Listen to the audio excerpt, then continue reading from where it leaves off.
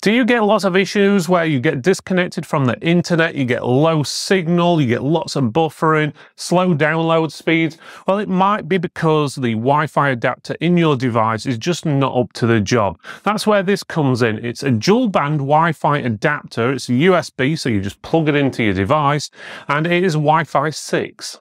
Okay, so on the front of the box, you've got a picture of the device. Looks like some sort of alien ship. It says it's USB 3. Bear in mind it's USB 3.0. That's pretty good. It'll work at the full speed. But if you're using something like USB 2.0 instead, it, obviously the USB ports are not able to run at that full speed, so it won't work as well. Auto install, which means it doesn't need a disk or anything. The exact model number is the U18A. It is Wi-Fi 6, which basically means it sends out two signals, a 2 2.4 gigahertz and a 5 gigahertz signal combined they work up to 1800 megabits per second. The 5 gigahertz signal is designed more for short distance signal transmission.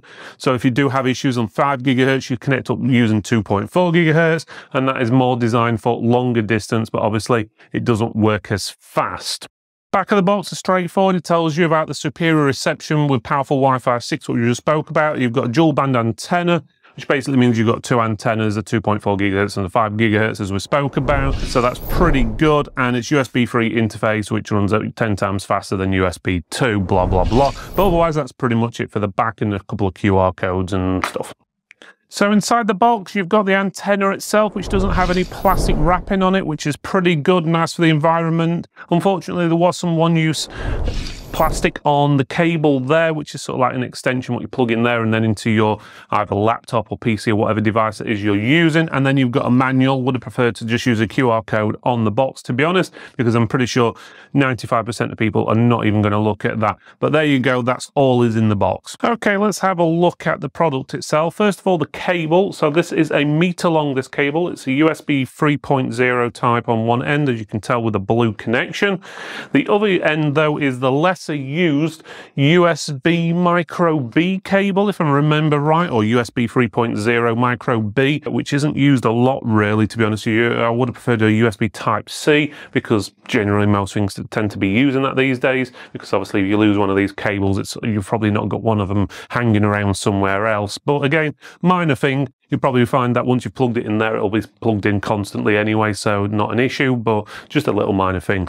Right, the actual device itself is the antenna, which obviously you stick on top of your PC tower or on your desk next to your laptop or whatever. It's got these really long antennas on here, which is really good. So you've got two of them, you can position them how you want. So if the signal does seem to be a little bit flaky, you can adjust the antennas to try and get a better signal. Now the actual unit itself, so it's sort of got a uh, crystal effect, I would say, uh, on the design. So, which looks pretty good to be honest, quite unique. Obviously, it's all black. It's a Tenda on the front, which is obviously the brand. On the bottom, it does have four little feet. They are plastic, unfortunately, which means if you've got it on a table, it's going to slide about quite a bit potentially. I would have liked to have seen some rubberized feet on there, in all honesty. Uh, it does have some ventilation holes on the bottom, and as well as some manufacturing manufacturer marks on there.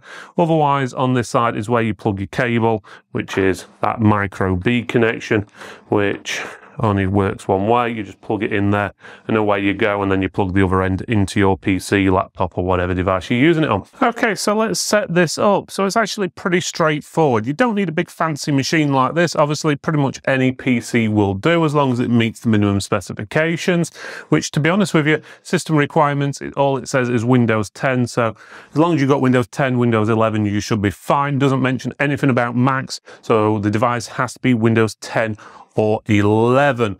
So all you do is get obviously your device, plug the cable into it, and then plug the other end into your PC. As you can see, it does move around fairly easy, and that's even on a mouse mat because it doesn't have rubberized feet, so just bear that in mind. So plug that into your PC. Doesn't really matter which USB port, as long as it's USB 3 if you've got it. Plug it in. As you can see at the bottom, it's popped up saying autoplay. Do you want to run this? You click on it, and then you press open folder to view files. Once that's done, you then open the folder called Windows, and then you double click the file what says setup. Give it a few seconds, it should pop up on the screen and give you some more options. Here we go. It says installing.